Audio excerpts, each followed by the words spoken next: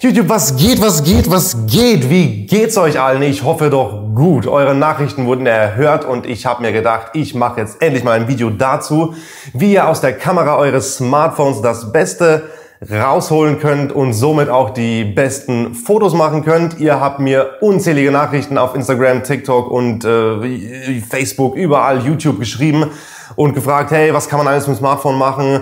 Äh, hast du da ein paar Tipps und ein paar Tricks dafür? Und das Ganze seht ihr jetzt in diesem Video. Bevor wir anfangen, möchte ich einmal ganz kurz, dass ihr hier oben, glaube ich, da ist das, abstimmt. Was haltet ihr von diesem neuen Bildlook? Ist der nicht crispy, sexy? Mmh. Einfach mal Daumen hoch, Daumen runter oder ja, nein, ich weiß noch nicht genau, wie wir das Ganze da oben gestalten werden. Ihr kriegt das schon hin. Wir sehen uns jetzt gleich nach dem Intro.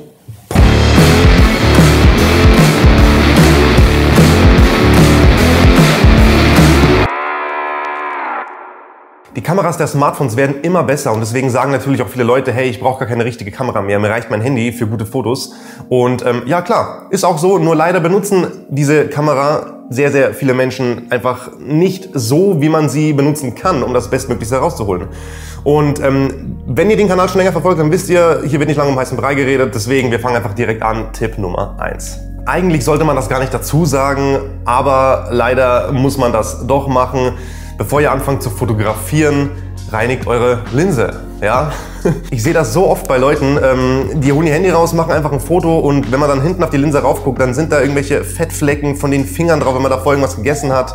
Da ist Staub drauf, keine Ahnung. Und einfach kurz Mikrofasertuch nehmen, rüberwischen, vielleicht einen kleinen Pinsel, das Zeug kostet 1 Euro, 2 Euro auf Amazon, ähm, kurz rüberpinseln, das ist gleich erledigt und ihr werdet sehen, eure Fotos sehen sofort und da müsst ihr nicht mal irgendwas können. Sofort um einiges besser aus. Tipp Nummer zwei: Wählt das richtige Bildformat aus. Die meisten Smartphones heutzutage haben mittlerweile die Möglichkeit, dass man zwischen JPEG und RAW wechseln kann. JPEGs und RAWs sind im Endeffekt einfach nur eure Fotos. Nur eine RAW-Datei ist eine komplett unberührte große Fotodatei, sage ich jetzt mal. Da habt ihr einfach alle Bildinformationen noch drin vom Fotografieren.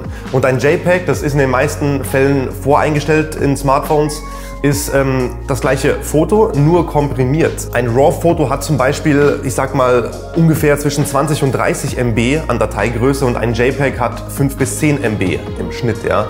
Ähm, was bedeutet das? Das bedeutet nichts anderes, dass euer Foto, das ihr geschossen habt, einfach komplett komprimiert und kleiner gemacht wird. Warum? Damit ihr mehr Fotos auf euer Smartphone bekommt. Der größte Nachteil allerdings, ihr habt so gut wie keine Möglichkeiten, das Foto zu bearbeiten, weil ähm, ihr einfach keine Bildinformationen mehr habt. Und wenn ihr jetzt in RAW fotografiert und ihr macht ein Foto und das ist aber viel zu hell belichtet oder viel zu dunkel, dann könnt ihr das äh, in zum Beispiel Lightroom Mobile, ja, die App ist kostenlos für Android und für Apple, nachbearbeiten und könnt das ganze Bild heller machen, dunkler machen. Ihr könnt wieder die Details zurückholen, die ihr beim Fotografieren verloren habt. Warum? Weil diese Informationen noch auf dem Foto, auf der Datei gespeichert sind. Bei JPEG ist das ich will nicht sagen unmöglich, aber es ist sehr, sehr schwer und sehr unwahrscheinlich, dass man da noch ein schlechtes Bild retten kann. Deswegen stellt in euren Einstellungen unbedingt, wenn ihr es nicht einfach mal irgendwie einen schnellen Schnappschuss macht, sondern wirklich gute Fotos machen wollt, von JPEG auf RAW um.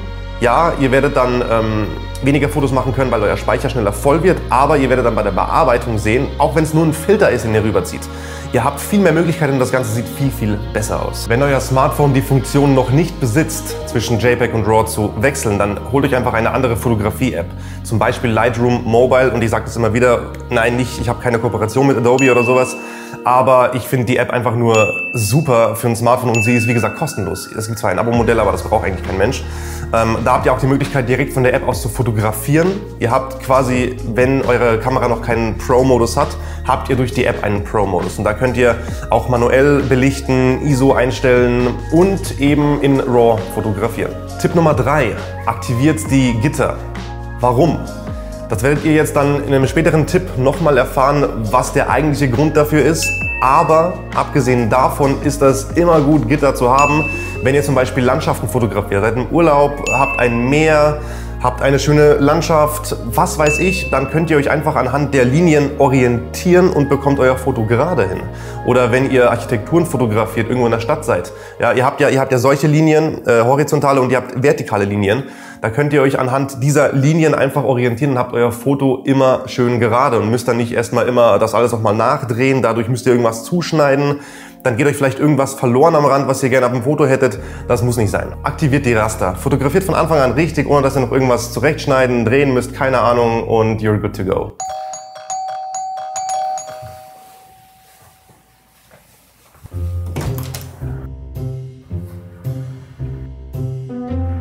Hi.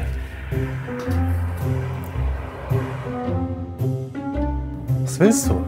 Ähm, du bist doch Eddie, oder? Der dieses Video gemacht hat mit den Smartphone-Tipps. Du bist gerade in diesem Video. Oh, hey, yo. Was willst du? Wer bist du überhaupt? Du hast doch diese Presets fürs Handy gemacht, oder? Da, wo man die Handyfotos einfach schnell verbessern kann. Ich habe mir gedacht, vielleicht kannst du ja das noch in dein Video mit einbauen. Ich wollte einfach. Meinst du, ich brauche mich die Hilfe beim Vermarkten der Produkte oder sowas? Ja. Guck mal, du bist jetzt in dem Video, sei glücklich. Du hast es mir jetzt nochmal gesagt. Ich, ich erwähne das jetzt gleich nochmal und ja, alles gut, ne? Vielen Dank, dass du da warst. Ja, okay, ciao. Ja, aber ich habe es auch nur gut gemeint. Ich dachte nur, ich helfe dir ein bisschen und vielleicht kann man da mal irgendwie so zusammen so ein bisschen kooperieren oder so. Ist ja gut, jetzt hör mal auf die Leute hier zu nerven, weil die bestimmt gleich wieder wegschalten werden oder einen Daumen runter geben werden, weil die eigentlich da sind, um Ja, irgendwas zu lernen. Und nicht, und nicht für sowas hier, weißt du? Ja, ja. Na gut. Okay, mehr wollte ich auch nicht. Ich gehe dann wieder, ja? Hat mich gefreut. Also, tschüss, ne? Ja. Okay. ja. ja. Ciao. Tipp Nummer 4, der goldene Schnitt. Eines der wichtigsten Sachen in der Fotografie ist der goldene Schnitt. Was ist der goldene Schnitt? Ich habe euch ja gerade gesagt, ähm, aktiviert die Raster. So, und wir haben ja die vertikalen und die, nee, die horizontalen so und die vertikalen Linien bei den Rastern. Und der goldene Schnitt besagt, dass der Betrachter, wenn er ein Foto anschaut, ähm, es für schöner empfindet, wenn Objekte oder wenn das Foto generell im goldenen Schnitt liegt. In der Landschaftsfotografie zum Beispiel sagt man, dass der Horizont ja, Horizont, weiß jeder, was das ist, hoffe ich, ähm, entweder auf der unteren oder auf der oberen Linie liegt. Quasi ähm, zwei Drittel entweder Himmel oder zwei Drittel Land sozusagen. Ja? Nicht, dass man den Horizont in der Mitte vom Foto hat, weil das einfach unruhig fürs Auge wirkt. Und wenn ihr irgendwelche Objekte fotografiert oder Porträts macht, dann ähm, sagt man, wenn ihr jetzt das Ganze im Querformat fotografiert zum Beispiel, dass dann ähm, das Gesicht oder wenn das, das Gesicht leicht zur Kamera gedreht ist, dass dann das vordere Auge von der Kamera aus gesehen immer in einer der oberen Ecken des goldenen Schnitts oder der, des, des Rasters quasi ist und dann seid ihr im goldenen Schnitt. Und ihr werdet einfach sehen, dass da das Foto im Ganzen, wenn man einfach nur das Foto anschaut, irgendwie schöner wirkt. Tipp Nummer 5. Bearbeitet eure Fotos. Wenn ihr in RAW fotografiert, dann ist das Foto im Vergleich zu JPEG relativ flach. Ja, also es ist äh, wenig kontrastreich, ihr habt nicht viele Farben, es, es sieht relativ düster aus. Das ist aber gut, weil ihr bei der Bearbeitung extrem viele Möglichkeiten habt als bei JPEG. Ihr müsst dann einfach nur beispielsweise den Kontrast ein bisschen erhöhen, Dynamik ein bisschen erhöhen und schon sieht das Foto aus wie ein JPEG-Foto. Nur habt ihr, wie vorhin schon gesagt, einfach alle Möglichkeiten da, um die Farben, ähm, das Licht, den Schatten und so weiter zu verändern, was ihr bei JPEG ja nicht habt. Deswegen würde ich euch immer empfehlen, ladet eure Fotos dann nochmal in eine Bearbeitungs-App rein. Ist jetzt egal, ob das jetzt ähm, Lightroom Mobile ist oder InShot oder was es auch da noch alles gibt fürs Handy. Ladet es einfach da rein und dann spielt erstmal ein bisschen mit dem Kontrast und mit der Dynamik. Und ähm, Licht, Schatten. Ja? Das sind so diese Basics, die man auch am Computer bei Fotobearbeitung macht. Wenn ihr das gemacht habt, dann könnt ihr mit Sachen wie, wie Farben, Filter und so weiter und so fort irgendwie ähm, dran rumarbeiten. Aber ihr werdet einfach sehen, selbst wenn ihr nur in RAW fotografiert, einfach nur den Kontrast und Dynamik und sowas ein bisschen erhöht oder anpasst, selbst dann sehen die Fotos besser aus als in JPEG, weil ihr einfach eine bessere Qualität habt. Und Tipp Nummer 6, versucht verschiedene Winkel.